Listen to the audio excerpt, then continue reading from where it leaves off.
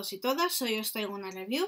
En este caso es de Aray no es nombre de perro, que es de Fernando Sánchez Ballesteros. Ballesteros, perdón. Es un libro autopublicado que tiene 300, no, 290, os lo diré, 290 páginas.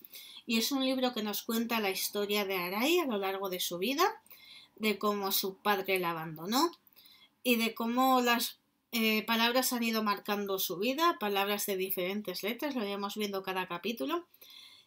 Eh, y aparte de esto, veremos como un poquito también la vida de hay, de cómo lo consigue todo, cómo consigue la completa felicidad y cómo la pierde, y cómo decidirá cambiar, dar un vuelco a su vida totalmente, pasar de vivir en una gran ciudad, por así decirlo, como Madrid, a irse a vivir un pueblo de Cantabria y veremos también en el libro la motivación y también, vaya con la palabra también, veremos cómo Arai eh, no ha perdido todos los sentimientos que tenía, sino que eh, va ayudando a gente a lo largo de su camino y veremos el motivo. A mí es un libro que la verdad que no parecía que me fuese a llamar, ya que la portada en sí y el título no me llamaba, pero hicieron una lectura conjunta y dije yo, bueno, pues ¿por qué no? probar algo que no leería de normalmente.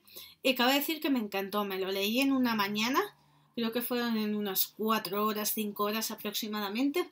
Me enganchó desde un principio ya que quería saber todo el rato, aparte de las palabras que nos iban enseñando, quería saber el porqué de Arai, eh, la motivación que tenía para cambiar su vida, primero cómo lo había conseguido tan perfecta y luego por qué quería cambiar de vida y lo sabremos prácticamente al final del libro, que para nada nos esperaremos esta motivación, ya que no tiene nada que ver con nada, no nos da ninguna pista, por así decirlo.